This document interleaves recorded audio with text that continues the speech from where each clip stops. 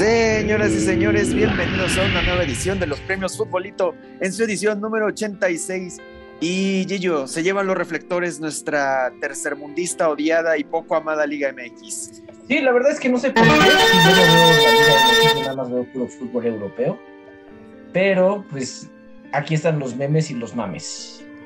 Exacto, pero sí tenemos uno, un premiecito por ahí en una liga europea. ¿Sí o no, Chío? Miren, yo nada más me quejo cuando son ligas que nadie conoce. De ahí en fuera no tengo ningún. eh, no tengo ninguna este, queja para otra cosa. Es de puro milagro, no hemos tenido premios en ligas así medio hipsters, porque pues nuestra liga siempre tiene mames, ¿sí uno ve. Y si algún día esperaban que iba a grabar un programa y yo no me iba a enojar, pues si estaban apostando que iba a ser este, la verdad es que es una muy buena apuesta. O sea, en este programa es muy difícil que me enoje. O quién sabe.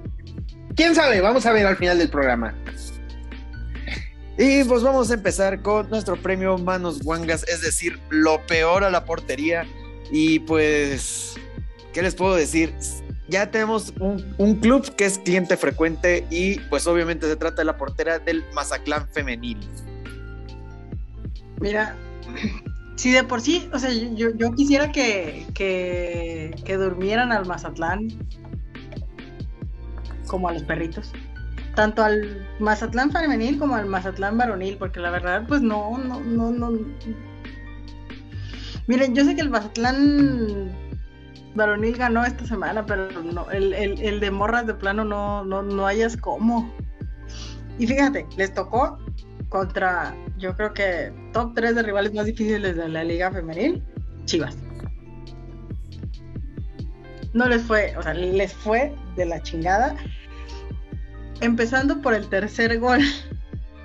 O sea, esto fue el tercer gol de, de los seis que se llevaron. Viene un tiro de esquina de, de Chivas, ya, ya, iba ganando Chivas eh, 2 a 0. Y la portera de, de, de Mazatlán, Beto me, me, podrá apoyar en esto porque pues, también ahí le hace a la mamada portereando. Eh, la portera de, del Mazatlán intenta agarrar el balón con las dos manos extendidas y en vez de quedárselo lo rebota y se lo regresa a la, a, la, a, a, a las jugadoras de Chivas para que lo vuelvan a para que lo vuelvan a intentar. De hecho, sí, este, María Tarango fue fue fue no, no, no, no, te explicas cómo, cómo pasó eso. Es que ni siquiera, ni siquiera le cayó a, a una jugada de Chivas, le cayó o sea, a su fue un tiro de, iba a ser un gol olímpico para empezar. O sea, iba a ser un, un gol olímpico el 3-0 de las Chivas. Pero. No, no te explicas cómo Rayos hizo eso. ¿Y saben qué fue lo peor para Mazatlán? Que no fue el único autogol. Hubo otro ¿No? autogol todavía. O sea, Dos autogoles.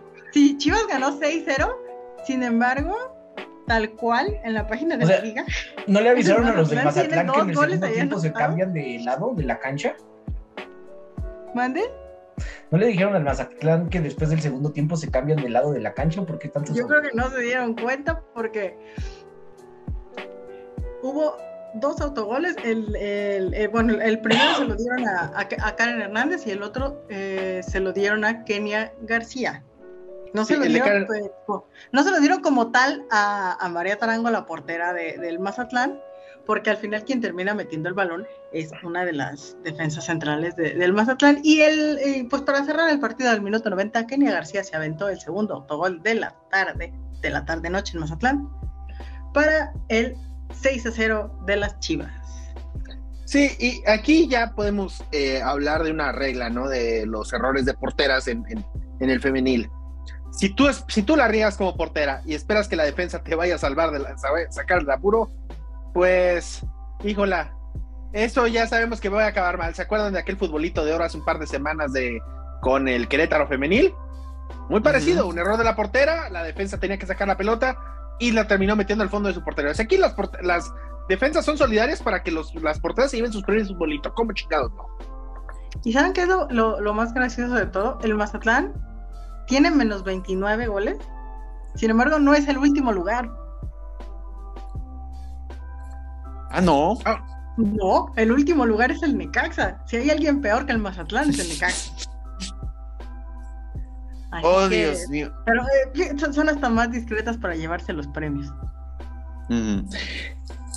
Pues bueno, este no va a ser el único premio que va a tener el Mazatlán en este en estos premios futbolito, pero no nos adelantemos porque primero hay que ir al premio Van Bommel, es decir, el premio a la entrada sucia, cochina, diría Beto, y se la va a llevar un, un canterano de Pumas que para mí ya echó a perder su carrera desde temprano. A ver, tan, tan rápido. empezó a echó a perder su carrera desde que firmó con los Pumas. Mira, a- algo que voy a decir es que ya, eh, so- en- si en algo eh, hay un sentir entre aficionados de las Chivas y los aficionados de Pumas, es que ya sabemos que vas a debutar un canterano y sabemos que en algún punto, más tarde que temprano, la va a cagar. O sea, estamos hasta la madre de canteranos cagándola en sus debuts. Dicho esto, bueno, Héctor Ramírez aprovechó, era su debut, en, eh, bueno, ya había debutado hace una semana contra el Mazatlán, debutó contra el Mazatlán, pero pues ahora salió de titular, otra vez, ya su primer partido en CEU contra el Puebla, y pues se le ocurrió hacer una de las cl- clásicas pendejadas de un canterano, de un chamaco en algas miadas, que no le mide la temperatura a los camotes, al, ahora sí que a los camotes, porque es el Puebla, perdón. Está el minuto 19, va una jugada por media cancha, o sea, no tenía ni sentido alguno en tres cuartos de cancha, ¿para qué? Mete una barrida directo a la bola, pero a la bola del tobillo de un jugador del Puebla, y estaba a unos cuantos metros Cesarín, que tú crees que Cesarín le iba a perdonar la vida a este joven pendejo nalgasmeadas, pues no, mi ciela. Eh, Cesarín No, le perdonó la vida a Cristiano Ronaldo en el mundo. Ah, no, eso sí la perdonó. LOL. O sea, Cesarín contra, con un chamaco en algasmeadas no va a tener piedad. Y le sacó la rojita. Y aquí mención honorífica al Kikín Fonseca que todavía tuvo el descaro de decir que esto era amarilla. Vean esta jugada, o sea, esto bajo ninguna circunstancia puede ser de amarilla, ¿están de acuerdo? Eh, Ya está para que el ruso Samogilny, que sabemos que al ruso le encanta esta clase de jugadas, esta clase de barridas, diga al final que sí era de roja. Digo, el ruso dijo originalmente, esto es amarilla, pero ya la volvió a ver y dijo, no, esto es roja. Ya para el Kikín siguiera de terco, ya para que el Kikín siguiera de terco, que esto era, esto era amarilla, a ver, Kikín. Ay, Kikín, yo nada más tengo No una cosa que decirte. ¿Qué? Yo nada más tengo una cosa que decirte antes de que, de, de que hable Gillo. Chinga tu madre, Kikín. No, no- Es que no no sé sé por qué me le- esperaba eso, pero no pude detenerlo. ¿Cómo le hace para pegarle la pierna de apoyo cuando es la que está atrás? Qué miedo. ¡Ay! A ver, otra vez. A mí, me dio, a mí- a mí me dio miedo. A ver, otra vez. Ya, ya está haciendo loop Gillo. Sí. Ay, está pues- solo. Se está traumando solo, pero más trauma es el que se va a llevar el premio Cruz Azul y se lo va a llevar No. el autor de este premio. Ey, eh, espérame, wait. Estamos equivocándonos. ¿Estás, estás yendo por. ¿Te faltó algo? o- Ah, sí, me estoy adelantando. Sí. Estoy adelantando. Eh, porque nuestro Por premio. mañana Luego, ¿por qué Hugo. no vengo? Luego, ¿por qué no vengo? Por Nuestro mañana pre- para Hugo. Sí, es cierto. Nuestro premio a Donay Escobedo decía lo peor de la portería y digo, No, el Orbañanos. ya, no. basta, Ya, basta. no, va. No, era- Premio- así, así como la- así como el Mazatlán metió dos autogoles, ahorita Hugo ya lleva dos orbañanos. Sí. Ya, pues, premio Donay Escobedo al pre- a, a Donay Escobedo en el Pachuca contra América. Ah, es que tuvo una tarde desastrosa, anulando goles que no eran anulados, otros que tal vez sí eran anulados, pero pues como ya el partido se le fue de las manos desde el momento en que le dio el balón al niño de siente, juega limpio, siente tu liga, pues hubo una jugada polémica eh, que le anuló el, el 2-1 al América, corríjanme si estoy mal. Así es. Sí. En donde viene un rechace largo. Y pues bueno, prim- primero que nada, esas son, sin bar, son difíciles porque viene desde muy lejos, entonces el árbitro asistente no está listo para ver la jugada. Pero el delantero del América está muy adelantado. Viene un jugador del Pachuca, da un rebanón y le queda al delantero del América que pues se encuentra solo frente a Ustari y define bien. Resulta que pues esta jugada está anulada, por lo que estuve investigando, porque sí, yo también hago mi labor de investigación, estaba bien anulado de acuerdo a los criterios de la FIFA, pero pues como, como aquí en México no se sabe eso, pues todos están diciendo, no, es que cómo le... Es que, ¿cómo le anula ese gol? Si eh, viene de un defensa, pues es un rebanón y algo que he aprendido desde, bueno, que desde que empecé a ver el fútbol, es que los rebanones son igual a juega, juega el balón. ¿Por qué? Porque no estás intentando darle el pase al, al rival. Bueno, un pase pero- que tú estás controlando hacia dónde va. Sí, Entonces, pues aquí técnicamente estuvo bien Adonai, pero como se le había ido el, par- el partido desde mucho antes, y apenas era el minuto 22. y luego no Ya. le marca un penal a favor de la América. Al- después no le marca el penal a la América exactamente, un penal clarísimo. Y creo que también hubo una jugada polémica a favor del Pachuca, o sea, de... No, en contra del Pachuca. Esa no Sí, la recuerdo bien. Si ustedes vieron el partido, recuérdenla. La jugada, por favor. No, otro go- el, el otro gol anulado, ¿no? A América, si no mal recuerdo. Y, hubo- Fueron dos goles yo hubo- anulados a la América. Sí. Y bueno, lo, hay quienes dicen que el fútbol lo tiene comprado Orlegui. No, y pero otros que pues es de Azcárraga, pero bueno. Aquí también el problema es que Adonai es demasiado malo para ser árbitro de primera división. acuérdate también que cuando van los árbitros a Pachuca, siempre les manda la limosina Chuchín. Eso es una es de los de los rumores de la conspiración más aceptados en la Liga MX. O sea, Adonai va a tener una- un, pre- un traslado VIP a su hotel la próxima vez que vaya a Pachuca. Que no debería de ir. Para empezar, hay hoteles VIP en Pachuca. ¡Ay, Dios! Muy buena Para pregunta. empezar, para empezar, hay hoteles en Pachuca. No, oh, ya te estás yendo muy dark. A ver, uno- un lugar que tiene pastes debería tener hoteles. Obviamente, los pastes son sabrosos. No sé qué tienes en contra de los pastes. Ya sé, chingados. te apuesto que ni los ha probado. No, o sea, como no es este pan con carne molida, queso y catsup, Ajá. ¿Me están diciendo gringo? no. Yes. Yes, we do. Estoy diciendo que tú le dices taco a la tostada doblada. Ay, Dios. Como Ay. diría alguien por ahí. Y le, ¿Cómo? que le gusta doblada. Sí, Ah, que caray. le gusta doblada, dice. No, no, no, no, no, no, no. A ver, me está confundiendo de, de conductor de futbolito. Y bueno, y ahora, ahora sí pasamos a otro autor de su propio premio. Ahora sí, lo que les había dicho. El Cruz Azul. Cruz Azuleando. Chío. Oye, antes, es que, a ver, antes de que, antes de que Chivo hable, esto de los premios, o sea, de Adonai a Adonai, Cruz Azul a Cruz Azul, es como el premio Rubiel Ávila a, a Rubiel Ávila. O sea, sí. no, no, muy bien, ser. senadora. Sí, sí, una cosa Muy, terrible. muy bien, senadora. Sí. Es el muy Pero bien a ver. senadora del futbolito. Pero a ver, Chio, vas. Sobre todo porque esto empezó con un gol de uno de los jugadores favoritos de Beto. O sea, Ah. Uriel Antuna, Que chingue su madre por pendejo. que yo sé que es top 3 de, de los jugadores favoritos de Beto.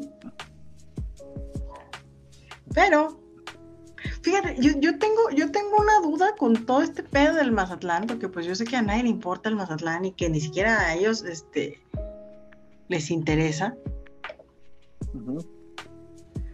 Pero pues yo, yo me fijé que en las, en las redes del Mazatlán le, le dieron el gol a, a Néstor Vidrio y Néstor Vidrio no fue el que metió el gol. No, Los al primero Tres dices, ah, anotadores, los tres anotadores del Mazatlán fueron Osvaldo Alanís al minuto 45, porque este, este gol de Antuna fue al minuto 16. Osvaldo Alanís. Cruz Azul.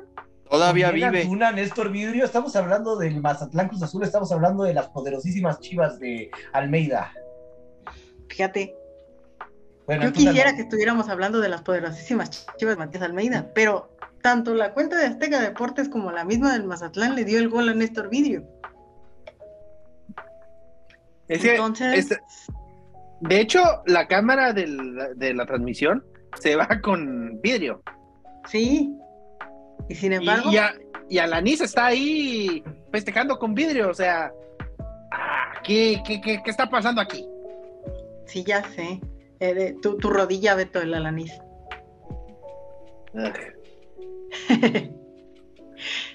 al minuto 45, después al minuto 51 Roberto Meraz y al minuto 56 Facundo Almada terminan de darle la madre al Cruz Azul en Mazatlán, porque puro Y- pendejo pierde con el Mazatlán. Y, y aparte, los tres goles en tiros de esquina. Los tres. A ver. No, Mark, no, no trabajan tiro de esquina en Cruz Azul o qué onda. El Tuca ya llegó y ya se dio cuenta de a dónde puede parar. De que tiene 60 años y lo puede hacer mejor que cualquiera de ellos. ¿O cómo dijo? Sí, sí, así. No, no, es que ¡Cagajo! tres goles en tiro de esquina. ¿Cuándo, ¿Cuándo ha pasado eso? Eso también es algo rarísimo. O sea, que te claven tres veces en tiro de esquina. Mm, Me recuerda a cierto episodio en cierta final hace exactamente 10 años. Ay, no, ¡Ah! yo ahora me quiero acordar de eso. ¡Ay! lo- y, y- y de mera casualidad, la víctima fue el Cruz Azul. Sí, Y fíjate que uno de los asistentes técnicos del Tuca dirigía ese Cruz Azul. ¡Ay! ¡Ay! Sí. Cierto, No me acordaba. Tampoco ya pasaron 10 años, verga. Sí, No mames, sí me acuerdo, o sea, me, me acuerdo que lo estaba viendo en la cuando yo, yo todavía vivía con mis papás. No, si No, te acuerdas de esa final es que ya tienes que ir a checar tu afore. No, No, y aparte, y aparte, ¿quién es el técnico del Mazatlán? Bien. Oh, Rubén Omar Romano. Otro ex Cruz Azul, maldita sea. todo es un que- fantasma, todo va alrededor. Sí, sí, o sea, mira que para que ya le des una victoria a Rubén Omar Romano a estas alturas del partido es que está a hacer el hoyo. Chale. Uy, uy. cuán- cuánta conexión hay en este multiverso del Cruz Azul. Pero hablando de multiversos, vamos a desempolvar uno de los premios futbolito más queridos. Y es que ustedes se acordarán del Morelia, de que nos dio tantas alegrías cuando estaba en primera división. Y no me refiero a alegrías deportivas, porque raro que llegara a una final. Pero siempre tenía estos episodios un tanto pintorescos, humorísticos. Y ahora que está en la liga de expansión, pues tampoco le ha faltado material. Y pues es que ahora sorprendieron a un niño pisteando en el Estadio Morelos. Ah, caray. Esto ya es, a ver, el Morelia se ha hecho, o sea, la afición del Morelia se ha hecho famosa por jugar póker en las tribunas del Morelos. ¿Te acordarás? Se ha hecho famosa por muchas cosas, o por ver el partido desde el cerro del quinceo, pero esto, o sea, esto, ¿Qué estamos en Alemania? sí, o sea, el niño aparte, a ver, este, le da con las dos manitas tomándole la cerveza como si fuera tetera, o sea, güey, no, no, esto no está bien, o sea, bajo ninguna circunstancia esto está bien, con más que me lo pongan. Y por más, o sea, mucho moneda Cinematic Universe, pero güeyes, no mamen, o sea, es un niño, no jodan. Y este, un tragote, o sea, ni siquiera, ni siquiera un traguito nomás para probar, no, un tragote y se ve que está contentísimo el, el mocoso, el mocoso nalgasmeadas este, o sea, una Otro cosa- mocoso en algasmeadas. otro mocoso en algasmeadas. Mira, mis premios han sido de puro mocoso en algasmeadas. Otro mocoso en algasmeadas. Y este, aquí te va. ¿Qué castigo habría que darle a, a alguien por darle alcohol a un menor? Eh, está tipica- tipificado Bueno, como un ya es delito demasiado grave. castigo llevarlo a ver al Morelia. Sí, eh, la verdad es que sí. eh, tipificado como un delito grave y va desde 3 a 6 años de prisión y castigos por sanción de 200 a 2000 días de multa. Uy. Ay, ay, ay. Pero adivinen cuál va a ser el castigo real. ¿Cuál? ¿Cuál? Nada. Nada. Nomás todos se están riendo de que ja, ja, ja, morrito pisteando. Y es como Mira, que, dude, Sí. está, está mal. Sí, pero nos- y nosotros lo estamos haciendo premio. O sea, nosotros somos parte del problema, Hugo. Somos parte del maldito problema. Nos estamos glorificando. Por eso, por- mira, por eso aquí en los premios futbolito decimos no a la venta de alcohol a los niños. Ajá.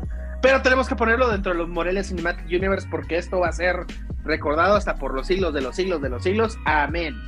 Este, pero sí, lo del mocoso es, es lamentable. Es, no, ahora sí, aunque también no podemos descartar la posibilidad de que sea coca de piña lo que está tomando.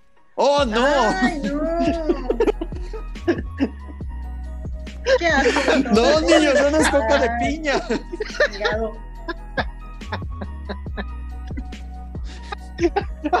Mejor sigámosle, sigámosle, moving on. Porque tenemos que Sigamos. de otro mocoso en las ahorita. Y pues hay que pasar ya a nuestro premio estelar. Ya llegó, ya está aquí el futbolito de oro. Pues, ¿qué les puedo decir? Es todo un museo de la pendejada, no solamente dentro de la cancha, sino fuera de ella. Todo un show cómico, mágico, musical, lo que representó el clásico de Inglaterra, el Liverpool contra el Manchester United. La razón Porque por la cual Beto no se iba a emputar hoy. A ver, todos sabíamos cuando pasó este, eh, cuando vimos el resultado, que esto iba a acabar en el premio futbolito, sí o sí. No había forma en la que no fue, de que fuera omitido en los premios futbolito. No había forma. Pero el problema es que aquí en México, buena parte de la población que tiene Paramount Plus no pudo ver el partido. ¿Por qué? Porque a Paramount se le ocurrió fallar. Saludos Alex, saludos Gillo. Usted, yo sé que ustedes trataron de ver el partido, no pudieron. Yo de alguna manera charra tuve que meterme a la, laptop a ver el partido y al menos lo pude disfrutar, pero Paramount Plus, tache, aquí sí fallaron feo. Sí, fue, fue horrible. Yo, pues, que no lo escuche mi jefe, pero yo lo estaba viendo en la oficina. Y de- o sea, estaba viendo el primero que fue. El anterior fue el. ¿quién jugó antes? Nottingham Forest contra Everton. Muy buen partido. Ese partido sí estuvo parejo, no como estas porquerías del clásico de Inglaterra. No, no, no. Pero, este.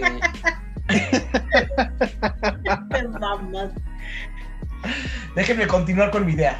Pero entonces empieza el partido y pues unos dos, tres minutos antes normalmente busco la transmisión para poder pues, ver las alineaciones y que no se me pase. Y problemas de Paramount. a ver un momento, cerré la aplicación, la volví a abrir, pues lo estaba viendo en el cel. Y otra vez y otra vez y de repente sale de, bueno, ya puedes ver lo que hay de la Premier League.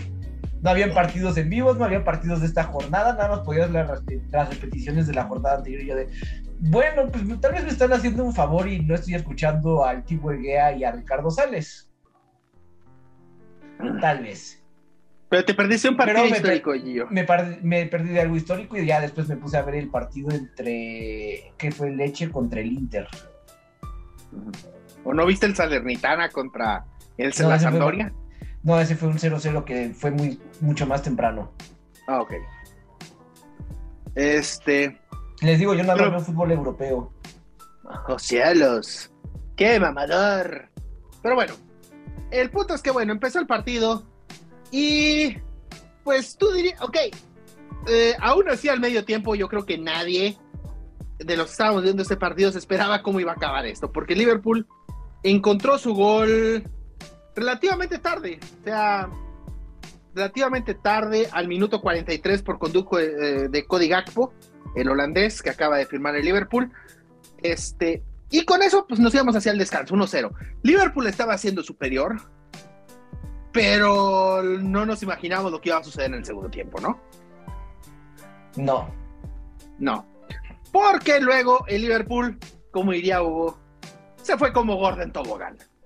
Este, el Liverpool que sabemos que esta temporada no da una, que ha, tenido, ha sido una temporada muy difícil. digo, la pena la semana pasada se comió cinco del Real Madrid. Eh, y de pronto, pues pasa esto contra un United que está en una de sus mejores temporadas en los últimos años, que está en reconstrucción, pero que parece que, bueno, parecía que iba por el buen camino. Acaba de eliminar al Barcelona en la Europa League. Pero también al United en los últimos años le ha ido muy mal en Anfield. Pero no tan mal. O sea, no, no, no tan mal como en esta ocasión. Eh, Eso no te lo esperabas ni tú. O sea, ni tú que eres bien, no, ni, tú que eres bien mamón te esperabas esto. No, bajo ninguna circunstancia. Luego viene, o sea, ya vienen los goles de todos colores y sabores. Algunos con errores. El Luke Shaw pierde la pelota, cae el gol de Darwin Núñez. Luego Salah pues le quiebra la cintura a Lisandro Martínez, que con su escaso medio metro de estatura fue a dar al suelo después de que Salah lo trajo por la calle de la amargura y le pone el balón a Cody Gafo para el 3 a 0. Después viene un rebote que le cae a Mohamed Salah en la media luna y mete una volea extraordinaria, cae el 4-0. Y ya a estas alturas, ya el, Manchester United, pues ya lo único que podía pedir de este partido es que ya se acabara. Pero, pues no, todavía le faltaba, todavía le faltaba cuerda. Darwin Núñez mete el quinto en un cabezazo, ya para que Darwin Núñez te meta un doblete. Híjole, allí yo no sé tú qué me puedes decir de eso. Sí, ni que fueras el Barcelona contra el Benfica. Sí. Así es. Eh, pues sí. Doblete y luego una serie de rebotes. Luke Shaw trata de despejar la pelota y le cae. Eh, pero dice Osho. Luke Shaw. Luke Shaw. Luke Shaw le mete, el, eh, mete un fierrazo a ver a quién sale, pero le rebota a Roberto Firmino y este balón le queda a Salah, que mete el gol más chicharesco de su vida para el 6 a 0. Y Roberto Firmino mete el 7-0 ya al 88 al 88 metió el Roberto Firmino el séptimo. Y aquí viene otro momento cotorro de la noche, porque ah, ya todos los goles, estos seis goles cayeron en los seis goles del segundo tiempo, pues cayeron en el COP, enfrente del COP, donde se sienta la afición más recalcitrante de Liverpool en Anfield. Y un mocoso pendejo en algas miadas de 16 años se mete a celebrar con los jugadores. El problema es que como estaba lloviendo, se resbala y le mete una barrida a Andy, Robertson y a, eh, y a Curtis Jones. Y me lo sacan preso. Jurgen Klopp estaba a nada de matarlo. A este mocoso nalgasmeadas. Estaba pidiendo por su papá, a ver qué chingados hace este mocoso. Y este mocoso está bañado de por vida de ver un partido de Liverpool en Anfield. Me parece que merecido, ¿no? Pues sí. Así que pues este mocoso también se gana su premio barra 51 por pendejo. Y tenemos que acabar con la foto de este partido lo estaba narrando, estaba siendo transmitido en, el Reino Unido por Sky Sports. Y Sky Sports tiene algo así como que tiene un dúo que es muy, digámoslo así, ah, ¿cómo lo podríamos poner? Como Álvaro, Álvaro Morales y José Ramón Fernández con América Chivas. En este caso es Gary Neville, que sabemos que fue exjugador del United, ex técnico del Valencia, por cierto, y yo te acordarás, bueno, no te quieren ni acordar. Sí, no.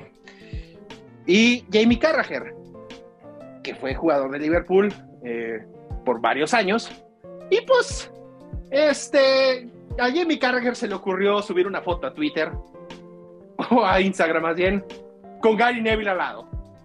Imagínense la, la, imagen, la estamos poniendo, pero esta es una imagen que es una obra renacentista, o sea, y aparte remató Gary Neville, narrando, estaba narrando el partido, estaba diciendo, eh, puedes perder 1-0, 2-1, 2-0, 3-1, es más, hasta 3-0 en Anfield, pero jamás 7-0. A lo que Jamie Carragher le dijo, pues ahora sí, ahora lo estás perdiendo 7-0. Y, y Gary Neville nomás se quedó diciéndole, pues sí, una vez. Estaba de plano, no, no, no podía ya ni, ni, no sabía ni dónde esconderse el pobre de Gary Neville, pero este 7-0, pues no salva la temporada de Liverpool, pero de este 7-0 no se va a olvidar nadie. Si no, se, si, si no se le ha olvidado, si, si a Ochoa se le olvidó el 7-0 de Chile, ¿tú crees que a los del Manchester no se les va a olvidar? No. Yo creo que sí. No. Por cierto, esta es la peor goleada en la historia del Manchester United. La peor En goleada de contra. historia. En contra, exactamente. La peor goleada en contra. La peor goleada entre estos dos, obviamente. Este, y el. Y desde 1931, el, el Manchester United no perdía 7-0. Contra los Wolves fue ese partido en 1931. Ya llovió. La peor, peor, la peor goleada que había entre estos dos, un 7-1 de Liverpool al United en 1895. Es decir, hace 128 años. O sea, sí es una goleada histórica. Uf, pues, ¿cómo? Es- pues ahora sí que le llovió al Manchester United. Le llovió y, y bueno, vamos a ver cómo se compone el United porque todavía le queda la Europa League. Liverpool, básicamente, pues ya nada más no le tiene que quedar entre los primeros cuatro, pero pues ya el United quedó fuera de la posibilidad de pelearle la, la, Champions, la, la liga al Arsenal desde hace rato. Y más con esto. Ujú. Y pues bueno, y Gillo, ¿dónde se pueden enterar de más este contenidos, goleadas, premios y dónde pueden mandar, pues, ahora sí que sus comentarios, a lo mejor sus premios eh, y pues, cómo no, su, su foto estilo Jimmy Carragher. Pueden seguirnos en Facebook, Twitter, Instagram con, como arroba el futbolito MX. Además, en tweet, eh, de Twitter, Facebook, Instagram, nos pueden escuchar en Spotify, en Apple Music y en YouTube. Y en iBooks. O sea, hay opciones. Y, y sugieran los premios y sobre todo Liga Sifters. Así nos evitamos que Chio vengan a, a- a grabar.